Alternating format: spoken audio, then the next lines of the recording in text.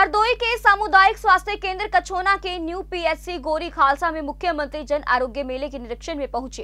प्रदेश के स्वास्थ्य मंत्री जय प्रताप सिंह ने कहा कि कोरोना से डरने की आवश्यकता नहीं है। उन्होंने कहा कि कोरोना बीमारी से बचाव ही वरदान है। उन्होंने कहा कि मास्क लगाने की भी आवश्यकता नहीं है। बस बचाव रखे। डरने की कोई ज़रूरत नहीं है। प्रस्तावित कार्यक्रम के तहत निरीक्षण में पहुँचे मंत्री जय प्रताप सिंह ने मुख्यमंत्री जन आरोग्य मेले का रिबन काट कर उद्घाटन किया। उन्होंने कहा कि कोरोना बीमारी के डरने की कोई आवश्यकता नहीं है। आज देश भर में सभी के मोबाइलों पर मैसेज आ रहे हैं। उन्हीं को ध्यान में रखते हुए सिर्फ़ बचाव की आवश्यकता है और यही बचाव वरदान साबित होगा। उन्होंने कहा कि देश में चौरासी केस हैं, जिनमें से दो की मौत है। वह भी ज़्यादा उम्र के थे। उन्होंने कहा कि बीमारी से मरने की संख्या की पॉइंट दो प्रतिशत है। कहा कि भारत लड़ने के लिए पूरी तरीके से तैयार है। उन्होंने यह भी कहा कि यूपी में तेरह केस हैं, जबकि यूपी में लगभग 1400 बेड हर ज़िले में हमने तैयार कर रखे हैं और हर केस को गंभीरता से देख रहे हैं। मंत्री ने कहा कि भारत नेपाल सीमा पर और एयरपोर्ट पर थर्मल स्कैनर लगाए गए हैं। बड़ी मात्रा में स्कैनिंग की जा रही है और बाहर से आने वालों का वीज़ा भी फ़िलहाल रोक दिया गया है। उन्होंने कहा कि मास्क लगाने की आवश्यकता नहीं है, बस बचाव रखें और डरने की आवश्यकता नहीं है। समाजवादी पार्टी के द्वारा 22 अप्रैल को 22 मुद्दों को लेकर प्रदेश भर में सरकार के विरोध में किए गए प्रदर्शन को लेकर मंत्री ने कहा कि समाजवादी पार्टी सत्ता में थी और आज विपक्षी मुख्य विपक्षी दल है। और ऐसे में सरकार का विरोध करना उनका दायित्व है। वह सरकार का विरोध करेंगे, लेकिन जनता सब जानती है और आने वाले समय में जनता देखेगी। मध्य प्रदेश में भाजपा की सरकार बनेगी।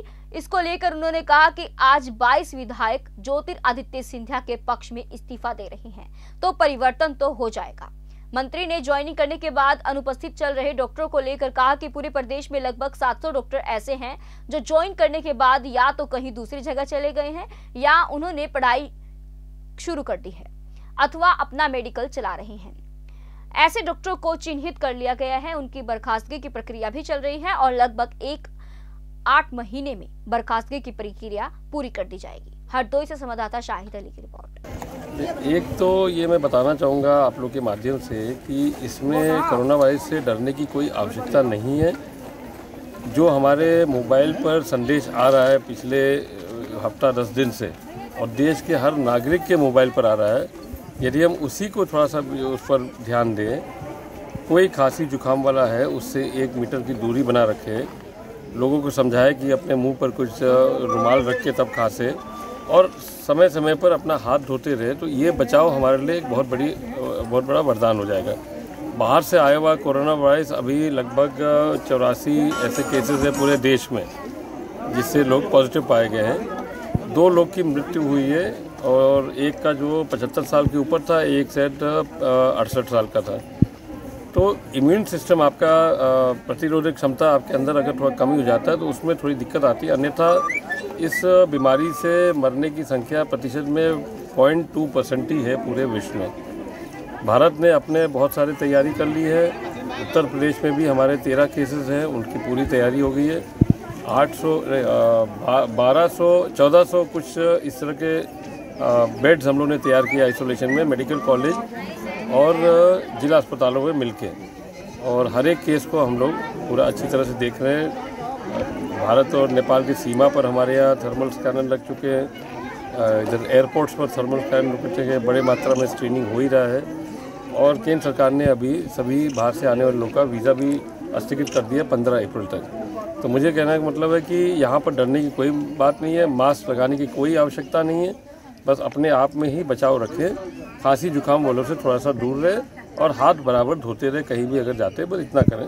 बहुत ज़्यादा इसमें परेशान होने की बात नहीं है बहुत डरने की बात भी नहीं है। ग्यारह रुपए के ताबीज में ठीक कर रहा है कोई गौमूत्र पार्टी करके ठीक कर रहा है? तो ऐसे लोगों से निपटने के लिए क्या तैयारियाँ हैं? देखिए मैंने फिर बोला कि इसमें कोई दहशत नहीं है कोई डरने की बात नहीं है। बाकी भारत एक बहुत बड़ा देश है। परंपर पारंपरिक पर तरह के आयुर्वेदिक दवाई आज से नहीं, सैकड़ों सालों से चले आ रही है और लोग उसका आज भी हो सकता है प्रैक्टिस करें, उस पर कोई ऐसा प्रतिबंध नहीं है। कोई फर्जी अगर कर रहा है, एक तो होता है कि मान्यता होती है कि हमने ताबीज़ लगा दिया या हमने पूजा कर लिया तो हमारे अपने शरीर में जो कमियाँ हैं वो ठीक हो सकता है। ये तो हमारे अपने अपने धर्म के हिसाब से हमारी सब मान्यता है। वो एक ऐसी चीज़ नहीं है, मगर हाँ कोई फर्जी दवाई अगर बेच रहा है, कोई फर्जी मेडिकल शॉप कर रहा है उस पर तो हम लोग अभी प्रशासन से मुख्यमंत्री के आदेश पर हर एक मेडिकल शॉप को हम लोग चेक भी कर रहे हैं रिटेल वाले और उनके कागज़ भी देखा जा रहा है। जहाँ इस तरह का पकड़ा जा रहा है तो उनके खिलाफ कार्रवाई भी होगी। सर समाजवादी पार्टी ने अभी 22 तारीख को 22 मुद्दों को लेकर के सरकार के विरोध में धरना प्रदर्शन का पूरे प्रदेश में ऐलान किया है। क्या प्रतिक्रिया है ऐसे में?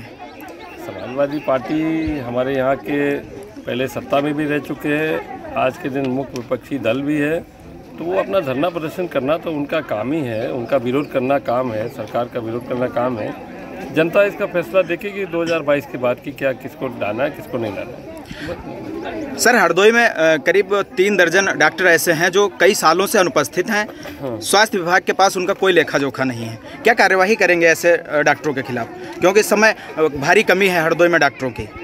देखिए पूरे प्रदेश में लगभग 600-700 ऐसे डॉक्टर हैं जिनका बहुत दिन से कुछ पता होता नहीं है।